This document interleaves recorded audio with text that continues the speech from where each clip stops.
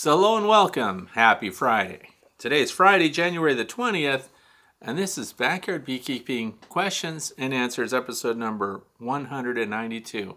And what you just saw outside is what's going on right now. Ran outside and got that video sequence just for you guys. So, I want to welcome you if you've watched me before or if you're new. And if you want to know what we're going to talk about, please look down in the video description below and see what the topics are going to be. These are all questions that were submitted by people over the last week, viewers and people that follow and uh, through podcasts, which is on Podbean. The Way to Bee is the title of the podcast. And thanks for all the trekkers that let me know that you listen to me while you're driving. So, how cold is it outside? 32 degrees Fahrenheit. That's zero Celsius. The wind speeds are 8.1 miles per hour, continuous with gusts at 12 miles an hour. It's 99% relative humidity. No great surprise there because it's snowing. If you want to know how to put in your own question or suggest a topic for discussion next Friday, please go to thewaytobee.org and click on the page also titled The Way to Bee. There's a form there that you can fill it out. I'm Frederick Dunn, and this is The Way to Bee. So thanks for being here. Thanks to those who submitted their questions. Some of you submitted questions that don't make it, and that's because they're either very unique to where I don't think a lot of people might be interested, or we've covered it so often that we just don't want to constantly repeat ourselves unless it's something really important or there's an update to it. Speaking of updates, a lot of people are talking about the vaccination. What vaccination? No, not that vaccination. The vaccination for the queen honeybee. The vaccination is against uh, American foul brood, which we know causes people to burn up their hives and destroy everything when it's detected in the brood. And usually it happens when you get an inspection. I highly suggest that you personally familiarize yourself with brood issues. There are really good books. I'm going to put some links down in the video description to some resources for you. There are some books called, for example, Honeybees and Their Maladies. This is an area where you really need to know what you're looking at and what might be going wrong in your brood frames. So then the issue comes up, uh, would you get it? Are you going to get it? Well, I don't know uh, how it's going to go or who's going to get it, but there'll be vaccinated queens against American foul brood. In all the time that I've been doing um, beehive photography and visiting apiaries. When I first started out in 2006, I took pictures of several other apiaries. One of them at American foul brood. And it was brutal because they had to quarantine the apiary so that they could test the other hives. And then they also completely destroyed the hive that had positive tests on American foul brood because it's not treatable. And that puzzles some people because they'll go, yeah, if you have American foul brood, these are the treatments. Well, these are the treatments for the hives that are adjacent to the hive that had American foul brood because we know that bees drift around and spread the wealth when it comes to disease. So, but the, the cool thing is, well, the cool thing, I don't know, the, the positive end of that is that I've not seen another case of American foul brood anywhere. And we get the reports though, which is one of the benefits of registering your apiary here in the state of Pennsylvania. Did you know that it's the law that you register your apiary? And a lot of people say, well, I don't want the man in my business. But one of the benefits is, for example, if somebody did have American foul brood and it was detected, and you would be part of that reporting string so that they could reach out to you and the Department of Agriculture could let you know that uh, you know somebody a mile away from you has American foul brood and it's being dealt with, but that would inspire you to test your hives. But I'm just saying they've done such a good job of controlling it. Haven't seen it around very much, but here's the good side to that. if they have uh, developed a vaccine, then they have a method for developing, delivering, and vaccinating queen bees. Which, of course, you vaccinate the queen, that's that's the whole colony later. So every egg that she lays will, of course, be a vaccinated egg. This is not new in agriculture. We do it with chickens. There's the LT vaccine. There are a lot of vaccines that uh, they give to birds that do not defeat the organic rating of your chickens or your eggs. So don't look at it as a monster. Look at it as a tool so that your bees can have immunity. And uh, but you know the good news is they'll be able hopefully then to come up with vaccines for other things, maybe deformed wing virus, who knows? If they can uh, develop one, they can develop more. And I heard, I can't substantiate it, but the method that they used and the reason that uh, they had the ability to develop that vaccine was because of research that was done when they did vaccinations and developed vaccines for the COVID virus. So, kind of interesting the way science comes full circle. I don't know if it's going to change much for backyard beekeepers, but it's interesting to know. The other thing that came out that people are asking about recently is the pollen on sunflowers and how that may have the ability to do something to reduce varroa. Now, it wasn't real specific. So the knee-jerk reaction is a bunch of people reach out and say, I'm going to plant sunflowers everywhere because it's going to defeat varroa mites. Uh, it's kind of collective. This is my take on it, you know, just sitting around drinking out of my Hive Alive coffee cup, thinking about it. What are we going to do? Well, I'm not doing anything different. And that's because it's interesting that the pollen that's coming from sunflowers, and by the way, sunflowers come in a lot of varieties. Uh, the pollen that comes from sunflowers has proven through the years to have a positive impact on hive immunity. So things beyond just the Varroa destructor mite, and I'm not sure how it works on the Varroa destructor mite in their reduction, but uh, it doesn't hurt. And here's the thing, because people will look at pollen profiles and the protein, the amino acids, and everything else, and whether or not it's a complete pollen protein diet for your honeybees, because they use it to develop their brood. But see, it's not a prime nutrition source for your bees from sunflowers, but if it has other traits that benefit your bees, then there you go. And diverse forage is going to always be key. So would I run out and plant an acre or two of sunflowers? Yeah, because I do it every year. Why? Because it looks good in photography as a background. Plus, the bees go on it all the time, and not just Apis mellifera, which is our honeybee that we manage, but uh, Melissodes and other native bees go sometimes exclusively to sunflowers, so it doesn't hurt to have them. And uh, I'll just hit on that a little bit more. The things that I look to plant natural diversity, things that look good for people, smell good to bees. Bees can get pollen and nectar from them. In some cases, they only get nectar as a benefit from the flower, depending on what it is. Sometimes they only get pollen from a flower, depending on what it is. Like ragweed, for example, they get pollen from that. Not much, if any, nectar. So on the flip side of that, they get lots of nectar from sunflowers, but not necessarily usable pollen for the brood. So diversity is key, just like with the human diet. You know, you don't want to eat just one thing all the time, no matter how good it might seem to be. Nothing on its own will be complete. And I look for plants that have a long bloom. That's why this year on a big, I'm on a big hyssop thing. So anise hyssop, agastache, and hyssop, see, it's never simple because there are a bunch of other varieties of it. And they're perennial, but guess what? It's a perennial, but it might only last three years. So would it reseed itself? These are the things I think about and deal with. And backyard beekeepers want to do what they can for their bees, so they jump online and order a quarter pound of seed or something, which by the way would seed a lot. So you could go in collectively as a bee group and buy a pound of something and then distribute it throughout all your members and everyone could have a quarter acre of something. So the reason I like hyssop and the reason I'm on that right now is because it starts blooming in June and blooms all the way through October and into November. So even after we've had frost and cold weather, the bees still had some forage to go to and I didn't have a lot of it last year and I figured if a little is good, a lot would be better and so I'm planting a bunch more this year and then we're going to look at it to see which ones the bees go at the most. So it's going to be interesting. Let's jump right into our first question now that I've wasted all that time talking about things. question number one comes from Michelle in Detroit, Michigan. Do you still think powdered sugar mite tests are worth doing, or do they underestimate the varroa counts too drastically? Would you have to get less than 1% in order to trust your sugar test? Thank you. Okay, so here's the thing. And for years I've done sugar shakes. I'm also looking more at bottom board uh, droppings when it comes to the Varroa destructor mite. And uh, could we say that the sugar shake method, and those of you that don't understand what I'm talking about, what do you mean sugar shake? Well,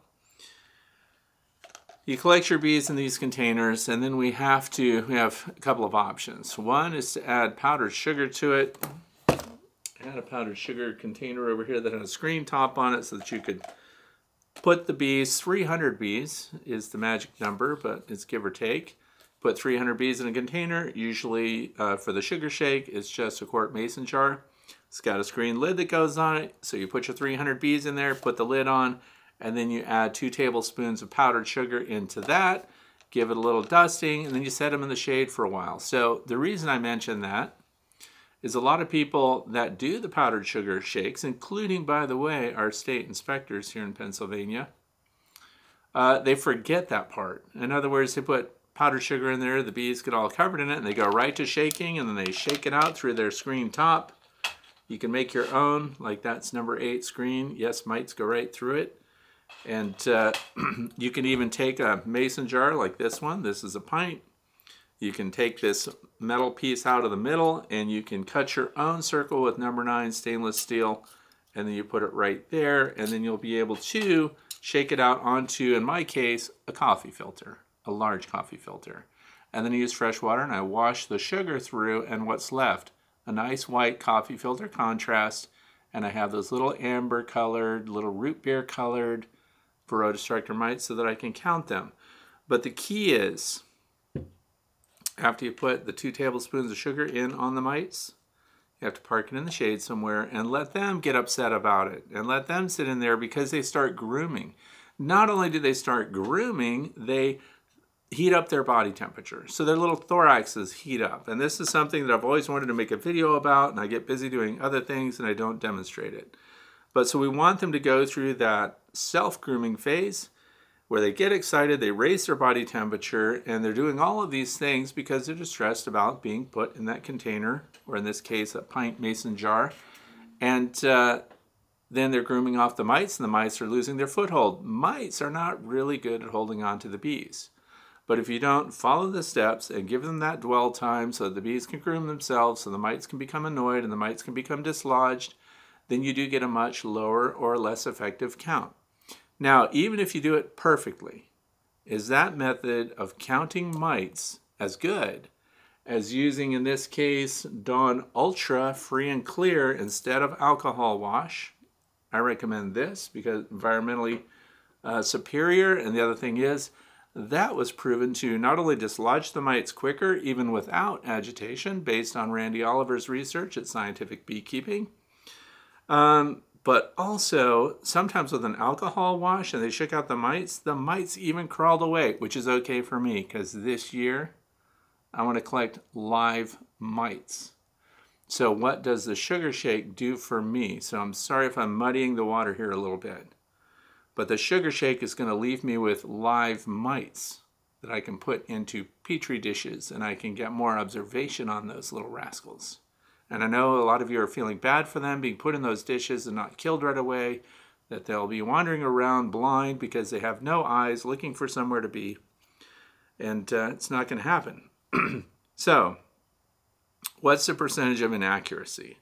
It depends on who's doing that test. So, the alcohol wash, Dawn Ultra Free and Clear, or the powdered, powdered sugar shake. If I get two or three mites on a powdered sugar shake, right, of 300 bees. Am I going to treat the colony for mites? Here's what I personally am going to do. I'm not going to treat if I just get one to three on a sugar shake, but I want to see if they progress. So in other words, two weeks down the road, I do another sugar shake on the same colony. Now I have six or seven mites, treatment level. Does that mean that, uh, as the question is here for Michelle, um, do I have to get less than 1% in order to trust a sugar test? So I'd say no, because the state inspectors here, and I consider them the authorities on testing. Why? Because they do so much of it. They do hundreds of tests every week. And uh, they see the results, and they collect data, and they know uh, what the mite loads are in different apiaries and they see them rise and fall. And so your state inspectors, if you happen to be registered and if you happen to get inspected, become a great resource for statistics on what things are working and what things are not, and what would I expect in June if I got a three mite count with a sugar shake? What would be happening by July? So at the time when your colonies are building and everything else, it all comes into play. Would you treat? So if I had three or more, that's a treatment threshold. If I had two, wow, we're just one off. Would I treat or not? That's going to be your own judgment call. Uh, because then with the alcohol wash, if we did both, what was the count that we got in comparison to sugar? So if I got two or three with the alcohol wash, not to mention the fact that we didn't have to kill those nurse bees, and not to mention the fact that when you use a sugar shake, if you're like some people I know whose name will not be mentioned, if you accidentally put your queen into your mite count container and you use sugar shake, you've got a queen that got dusted and annoyed by sugar. And when you put them back in the hive, they're not dead, neither is the queen. However, this person did the alcohol wash, and guess who was in the middle of it? The queen. So that's the other end of it. If I mean, most people can pick out their queen. I don't mean to alarm you and say don't ever do it if that's what you want to do. But the accuracy for me is not enough more uh, to justify using the uh, alcohol or ultra free and clear uh, instead of using just dry sugar. So dry sugar works for me. Now, in the past, I have done uh, the Dawn wash. I did it when I noticed a colony had brood disease. so it was the long Langstroth hive. The video is up. Uh, I show how to do, how I did my alcohol wash, but it had a high mite count. Uh, the colony was already in collapse. They had uh, sac brood and a lot of other problems going on. And so in that particular video, I show you the conditions of the brood and also I showed you how to do that wash. And I didn't care that I was killing the bees because the colony was going to be dismantled anyway and was going to be euthanized if they did not get themselves under control when it came to uh, the brood. You know, the nurse bees are the ones that are spreading that around when it's a brood disease. And uh, it was a problem for that one. So because I needed the results fast, I didn't want to fool around with waiting the several minutes or whatever to do a powdered sugar shake. But powdered sugar shake is my favorite for the reasons that I've already described, and I don't think the numbers are off enough. Now, for those of you who need absolutes. By the way, if you need absolutes all the time, beekeeping might not be for you because there are variables every time you go into your beehive. But if you want to create a consensus or if you've got a student group or if you've got a you know a scholastic apiary and you guys want to do some studies and see how things come out, do both. Uh, because if you're doing the alcohol wash anyway, you're killing you know 300 bees anyway and if you add the sugar shake, just to make a comparison for accuracy for the count, you didn't kill 300 more to do that.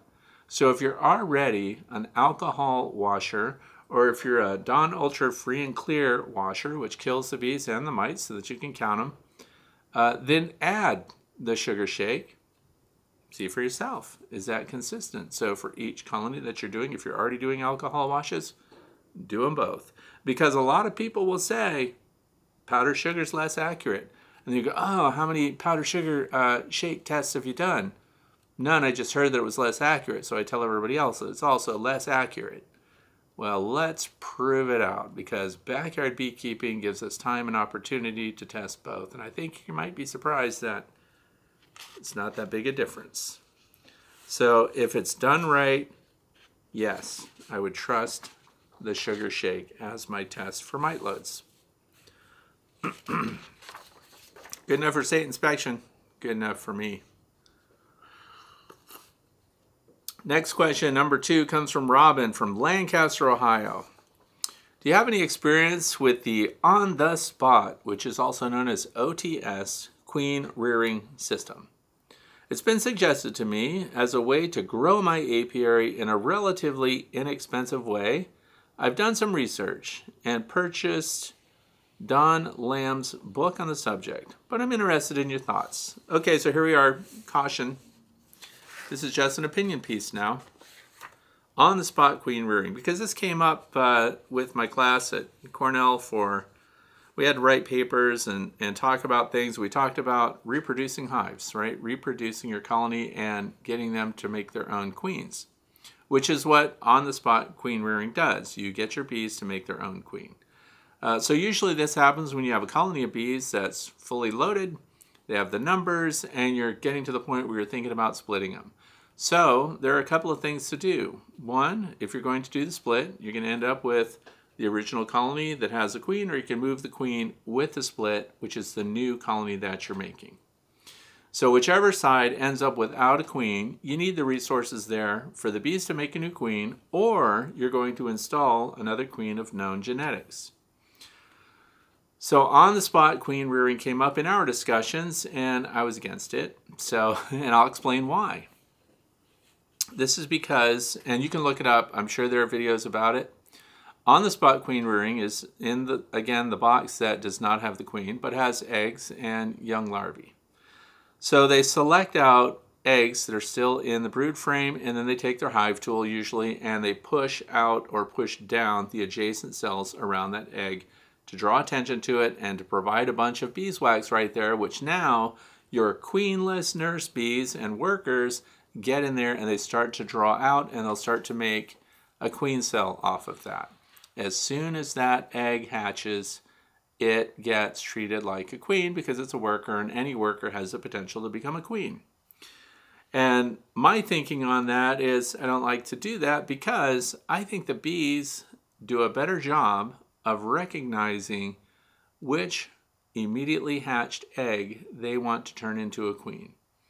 They smell the pheromones, they get a sense of the genetics, whether it's a closely related one or, you know, if it's a half sister, because again, you're a queen mated with a bunch of drones.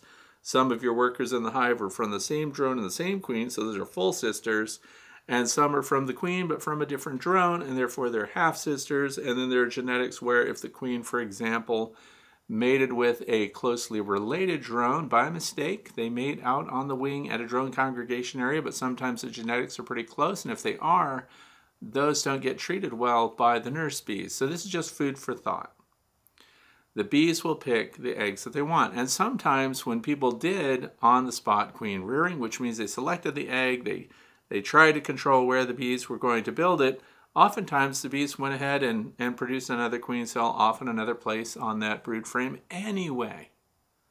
So you had to smash the brood around the egg. So you smushed other eggs, you smushed other open larvae because it's rare that you're going to find a suitable egg that's just there by itself in a cell. So you got to smash the surrounding cells to do it.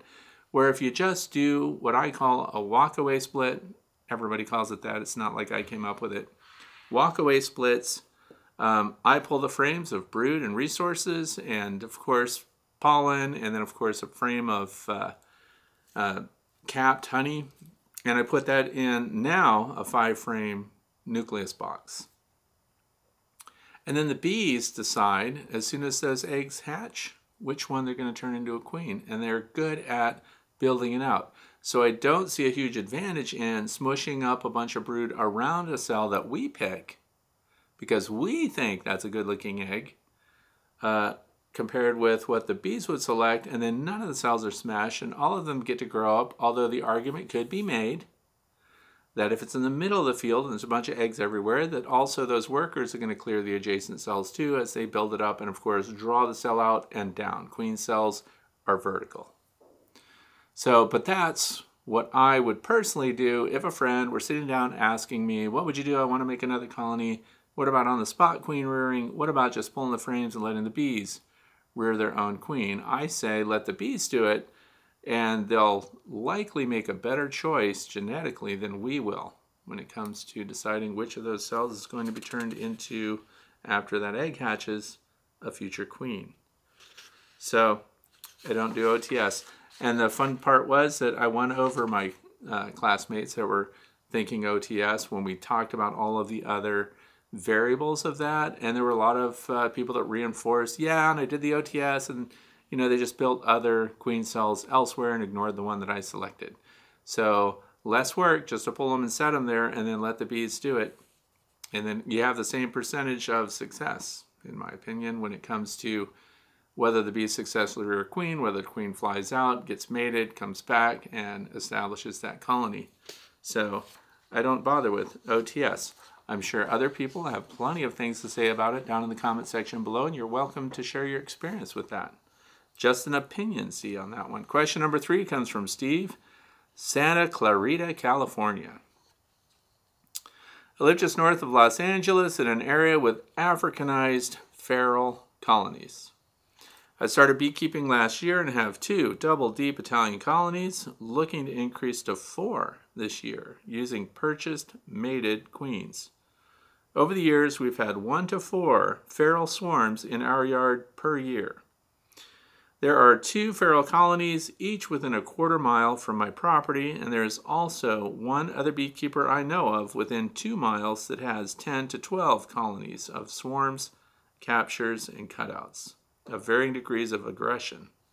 I'm wondering if there's anything I could do to increase drone production during swarm season from Italian stock, perhaps the nucleus colonies containing green drone comb and strategic OAV treatments to prevent mite bombs in order to influence the genetics of the feral colonies in my area. Hesitant to waste resources on anything like this, assuming I don't have enough colonies to make a difference, and if I did, and the queens I reared in the coming years would probably be flying farther than the area I could influence on their mating flights. Interested in your thoughts. So here's my thoughts. I don't ever uh, stop the bees from producing drone, but he mentioned the green comb. That's what this is. It's drone comb, specifically drone foundation, heavy wax. Acorn Company makes it.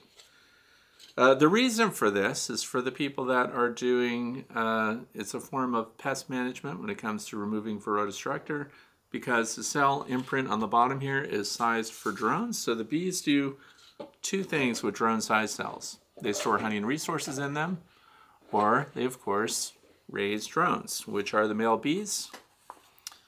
So, um, and I agree with what Steve is already kind of forecasting here. Your impact on that environment as described is going to be very low. In other words, flooding them with drones from your colonies, if the colonies are really good and you like your stock, there's nothing wrong with doing that uh, your chance of overwhelming uh, the other colonies in the area and where the queens can fly. By the way, how far can a queen fly to mate? So your chances of kind of, you know, generations away cycling back your own genetics is, is very rare unless you're kind of the king of the area when it comes to the number of bees you're running, number of hives. Most people, if you're getting into queen breeding and the ability to impact genetics, most of the books will say that you need 100 colonies, you need drone yards, you need queen finishing yards, and things like that. I think it's an uphill climb, not worth the effort to intentionally try to get your colonies to build more drone comb just to get that out. So there are other ways, by the way. Uh, if you want more drone comb, and, and just naturally up to about 20% of a healthy colony of bees will be drones. Uh, some beekeepers don't like that. They pull the drone comb. Oh, it's drone comb. Get rid of it. Would you use this? No way. It's drone comb. They get rid of that. So we're talking two frames out of 10 in a, in a deep 10 frame Langstroth box, which can seem like a lot. Another way to get your bees, if you want them to produce drones, but you don't want to push them into it, you can put medium frames into a deep box. Not all of them, just a few of them towards the outside. And then what the bees do is they'll draw an attached comb to the bottom of those medium frames. Nine times out of 10, the comb that they draw out down there is now drone comb. Now the good news for, about that is uh, they decided to make their own drone cells there. And so they developed their own drones, and now you have extra comb that you can scrape off for those of you who want to collect the beeswax and refresh it and stuff like that. So it gives you something to harvest. It's also for people that want to control varroa mites a little bit. These activities take a lot of interaction with your bees. So if you're using it for mite control, a lot of people set up drone comb like that green one, thinking they're going to use it for mite control, and then they forget, and then they just basically set up a whole mite breeding ground there and uh, forgot to interrupt that progress before your pupating uh, drones emerge from their cells and can now fly and also release those uh, reproduced mites on your colony. So if you're going to do it, better mark your calendar, understand when and when you set it up, when they lay the eggs, when you need to be harvesting that to make sure it doesn't happen. But to flood an area with just a few colonies, a couple of colonies, is probably not going to have any measurable impact. Question number four from Jesse in Dallas Center, Iowa. I'm getting back into beekeeping after four years off. I have some drawn comb in mediums from when I last collected honey. It is clean, but quite brittle and dry.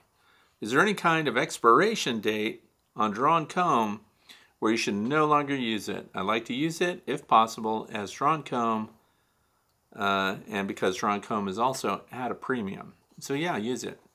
It's true. When you have, uh, especially new beeswax, for example, that just dries out, and sit in storage somewhere, and there's no other evidence of damage, it hasn't been a source of brood disease or anything like that, uh, yeah, it's completely usable, and your bees will go right after it because it's beeswax. And they'll reinforce it. They'll build it back up. It'll become more malleable again, and uh, will be no problem. Absolutely, use it. Question number five comes from David. It says, uh, question for you. I have six double eight framers here in eastern Kentucky, and I'm happy to report they are looking great. My question is, can you overfeed the bees in winter? I'm currently using Hive Alive fondant, and they love the stuff. They're passing up stored honey in supers to munch the fondant. Okay, so this is coming up a few times. Um, we have members in my own bee club that don't want to use the fondant or don't want to put it on early because they think the bees will go to that, bypassing their honey resources, and just go to the fondant. And my response to that is, what if they did? What if they do? I don't think it's the end of the world at all if your bees end up on the fondant. But the good news for me here is that they, they have consumed part of the fondant. So at different times, depending on what the weather's doing, they seem to be up there feeding on it. But the cluster is down lower. In fact, the cluster is just now getting to my medium boxes. And we did that with thermal scans. So that's really good news. None of my bees have fully consumed any of the fondant packs yet. So my philosophy here is better to have it and not need it. Uh, because if they are up there getting it, what if they get it early? That means there are other resources near the cluster because the cluster is not going to move up into your fondant pack. See? So the cluster, you know, will still be occupying frames down below. So if they're consuming resources, we're just talking, we're just shooting the breeze on this. If they're consuming your fondant resources up above too early and then they back back down to the cluster, which is now over honey reserves that they've not yet consumed, then they're in a good position to consume the honey reserves, which is where they're starting to brood up this time of year already. So I see it as a bonus, as an additive. Now, am I putting Hive Alive fondant on all of my hives? No. So which hives have it? all of my standard Langstroth hives have Hive Alive fondant on the top. And uh, this is what it looks like. So we can talk about the fondant just for a minute here.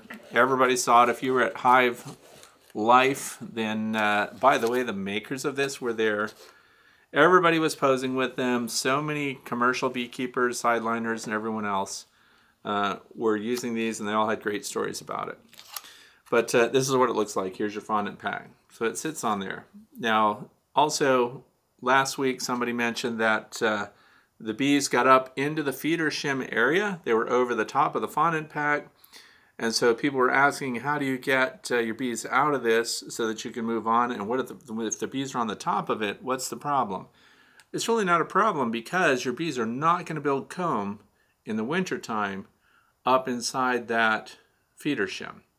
Even though there's space for it, and in a warmer uh, season, warmer time of the year, you do have to do something to close that up in the feeder area because they would start to build feral comb up there. Burr comb, we often refer to that as, or just comb that's outside of the frames, which is where we want them to put their comb. But if they were on the top of it and then your only hole is in the bottom, uh, you can just take a really sharp knife and cut a couple of slits. It doesn't have to be very many, and you don't have to cut it open and peel it back. You just cut a few slits, and the bees are tooling around on top will crawl right through those slits. And then because it stays kind of closed, it's not a real venting area for the warm air from down below. The other thing is your feeder shim, hopefully, uh, is insulated on top as well. So there's an insulated inner cover. There's the fondant on top of that. And then above that, hopefully people have leafed some insulation in there and they've got a polystyrene or some other kind of insulated cover on that. So even if they get up in here, there's no airflow through here because I don't vent. Now if you do, then you'll have more to watch and to see what happens. But I found that by just cutting a few slits in there, the bees are very good at finding that opening and forcing themselves right back down into the hive through it, where otherwise they seem to be tooling around up in the top there. The other thing is, uh, like right now, it's 32 degrees Fahrenheit out there, which is zero Celsius.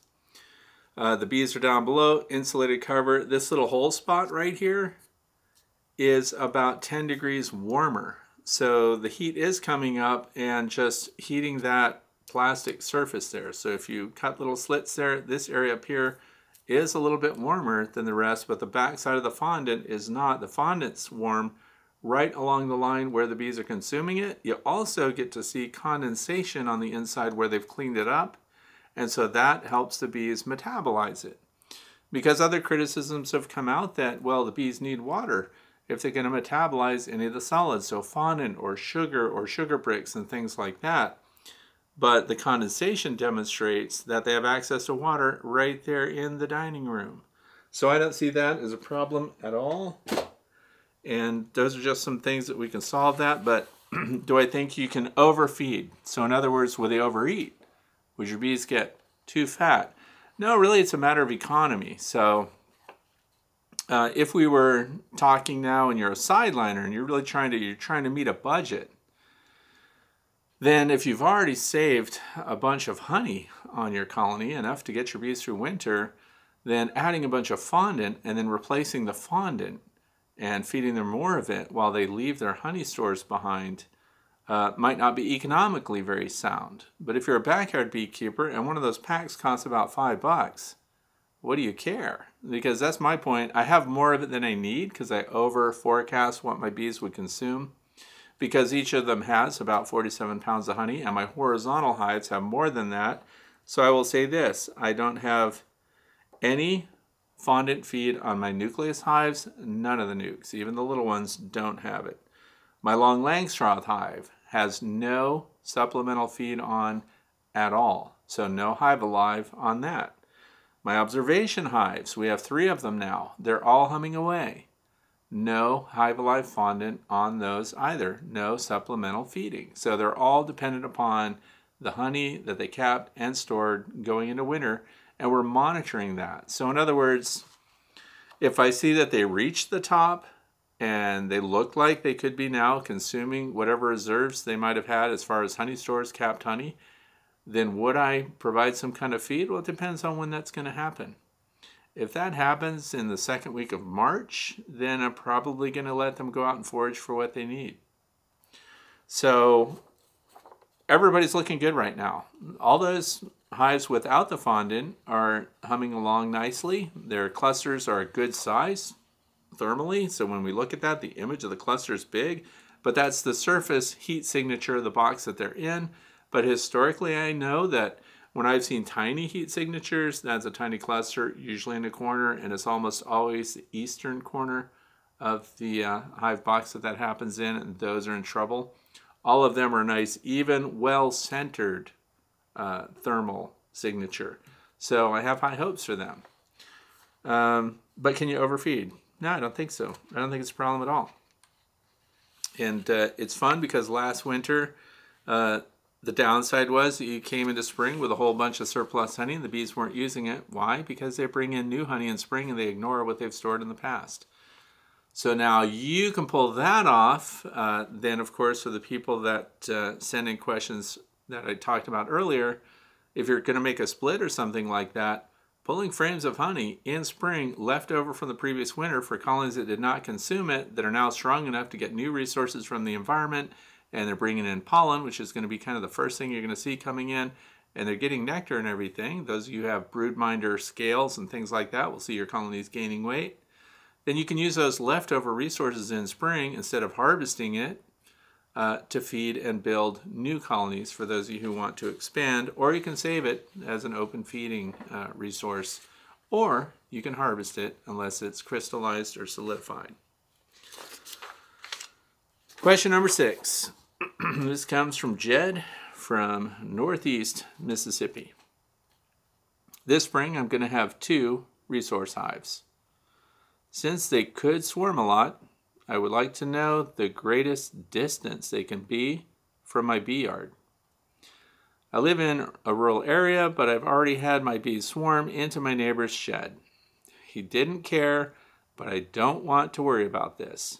I have started clearing for another bee yard. My question is if I need to get a frame of brood from one of my resource hives, how much time do you think I would have to move them without harming them? My resource hives will be in the new bee yard, say about 10 minutes away. I know I could move my hives that are close to my house, but uh, would like to keep a few nearby. Thanks. Okay, so this is about moving your frames full of brood, for example, and hopefully they've got bees on them too when you're moving them. And let's say we've got another hive set up somewhere else. This is so easy, by the way. I'm going to, of course, mention a product. So some people don't like it when I promote a beekeeping product that costs a lot of money. So those of you who don't like that will need to go and get coffee or tea or hot chocolate or something because this is what I do. If I, for example, uh, want to take apart an entire beehive and I want to get rid of the old equipment, but I want to move all these parts to uh, a hive somewhere else that's already established or has gotten started, and I know that they're queenless, for example, so I want to combine the two, right? Uh, what I do is I move them with the Hive Butler tote. And if you don't know what that is, it's a big, deep, food-grade plastic tote that's designed to accommodate Langstroth size frames, the deep frames, even with a space beneath them, so that even if you're pulling frames that have queen cells on them, and by the way, if you do that, how you manage these frames will be critical because you don't know at what stage of development that queen is pupating in that cell, what stage they're at, and how durable they are. So you have to treat them very careful and you have to very carefully put them in. There's no slamming of frames, shoving frames, slamming lids, and stuff like that. Treat them like they're little bombs that could go off. Just very carefully slide them in there. And what I do is I put them in the Hive Butler totes. And you know what's cool about that? The interior surfaces of that are so smooth, the bees stay on the frames. It is super easy. This is also how I, for example, set up observation hives. So this spring, I'll be setting up the observation hive that I had made by horizontalbees.com, horizontalbees.com. Uh, it was at the Hive Life conference. For those of you who went in there, when you first walked in, it was on the right. It's big. It's got four frames, four deep frames high and three deep. So it's going to do extremely well. But how do you populate that? When you set that up and it's inside your house or whatever building you're putting it in, it's going in my Way to Bee Academy building. Uh, this is how I set up all of my observation hives. I get a Hive Butler tote, I go to the colony that I want to do my walk away split from that I talked about earlier. So I pull out broods of fr uh, frames of brood, two of them, shake a bunch of bees in there, nurse bees, because the resident colony's got a big advantage. They're going to do okay, assuming that it's a big, strong colony to begin with. And then I put frames of resources in there, and I keep them all together. Because in transit, they're going to keep each other warm. And they're going to continue to feed open brood, for example. They're going to be feeding them. So depending on why you're doing it or how you're transporting or what's going on, it is a great way to temporarily contain frames of bees. And they have two different types of lids for those totes. One is a screened one because it's designed actually for collecting swarms. So it's a good tool for that. I use the Colorado Bee Vac now when I collect swarms most often, but the Hive Butler totes are great for that too, and I'll explain why. sometimes you go to get a swarm and it's a little branch hanging out from a tree and there's something about the size of a I don't know a football. So it's not a huge swarm it's little and there's this little tree just dangling right at eye level ripe for the picking. What I do is I take a hive butler tote and I put four deep frames in it to one side because it holds 10 I clip the whole branch and I put the whole branch right inside the tote. And then I put the lid on and the lid is the one with the screen top it closes up so well, I put that right in the back of my car and I transport them home. It is the easiest way to transport frames. now, back to this question. The reason it works so well is they stay on the frames. How long can it be in that? Well, you have a car with a heater in it, so you're not worried about chilling the brood. That's the biggest concern. Brood that's young, brood that's new, that needs the attention of nurse bees, needs to be insulated and protected from sudden thermal uh, changes, the cold being the most detrimental. Uh, as soon as you put that lid on there, and by the way, when it's a small uh, series of frames, three or four frames or something like that, you don't put the screen top in. You just put the regular solid Hive Butler tote lid on that. And people are thinking, what? They won't be able to breathe very well. But if you wiggle that tote around, you're going to find out. There's airflow. These things are not airtight. So this is one by itself. This isn't stacking them and the lids are loose. And if you're really concerned about that, you could drill a tiny hole in it, but it helps them retain warmth because they're going to generate heat in there. Your car is going to be warm. But the second part that I want to mention, and this doesn't matter if you're putting them in a standard bee box or if you're putting them in a tote or something else that you've made yourself, because in the past, I took um, big Rubbermaid totes and I used metal studs for building metal houses, metal walls, and uh, I screwed those to the side walls of the tote, and then they were perfectly spaced for my um, Langstroth frames, and then they would rest on those galvanized steel, what would be studs in a house.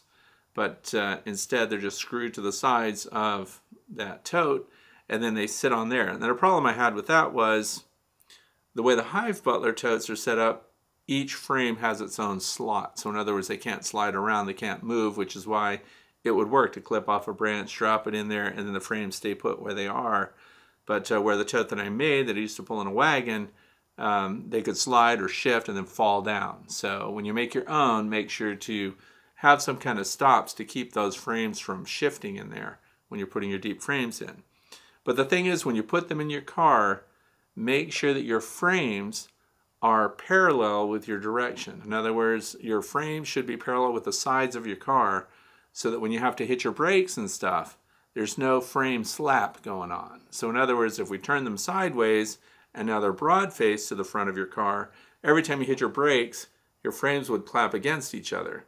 But once again, they don't do that if they're in the Hive Butler tote because they're spacers. So the frames are apart. So if they clack a little bit, they won't actually contact each other and be smashing bees, which they have the potential to do in a standard Langstroth box. So run them parallel with your direction of travel. So super easy. So I've given you some options there. I highly recommend Hive Butler totes. They were at Hive Alive. They had a great display there. They're expensive. I'm not going to lie to you. But I don't think I'm ever going to wear one out. Now, I might be older than you, so I don't think this is equipment that I'm going to be buying again in my lifetime. And they're good for swarms, they're good for transferring frames around, they're good for temporary holding while you do a hive inspection. So that's the other thing is we pull frames out and we have little frame racks that sit on the side of your hive and you're hanging them on the outside of the hive. Well, if your queen's on there, if there's other bees on there that you're concerned about getting away, you find that frame that's queen on it? Hive Butler Tote. And guess what I set them on? This, I'm sorry, this is another product I'm going to mention. The Bee Smart Designs hive stands are made out of plastic, which makes them very lightweight. Which means that I use them for things other than supporting beehives. I use them as you you have to put a solid bottom board on it. So a wooden bottom board becomes an integral part of the Bee Smart Designs hive stand. So I put old bottom boards on there and it's a staging area for me. Guess what else it is? Great place to sit. So I take one of those, put it next to a hive that I'm inspecting, and I put the hive butler on it. And then while I'm inspecting, I put my frames directly in that. That way the bees remain on the frames. The wind's not blowing at them. Other bees aren't visiting them. They're protected. And guess what? They're far more calm when you do it. And I've shown that in some of my other videos. So if you have to get frames out of the way while you do other stuff, or if you're changing boxes, or you have to swap out a medium super or something that has bees all over it, transfer them into your Hive Butler, swap out the box, and then move them all back. And now look how easy that was. And you didn't have to put them on the ground. You didn't have to lose your queen potentially. They all stay right there. It's just good all the way around. So how long do you have? 10 minutes? No problem. You could drive an hour. Why? Because the resources and the bees are on the frames.